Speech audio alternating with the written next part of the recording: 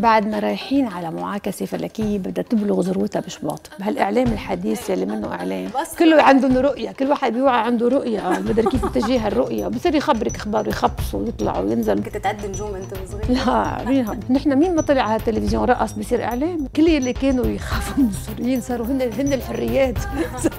واجبك تعلي المجتمع. مش تنزلي لعند كل شيء بيجيب مصاري. شو ما كان يكون. مرة قلت له اعملوا بورنو يلو بلا كلام إيه. شوفي بس شوفي العربي بس كنت عم بسمع أخبار والقوم محل آه والايه آه يا حمار.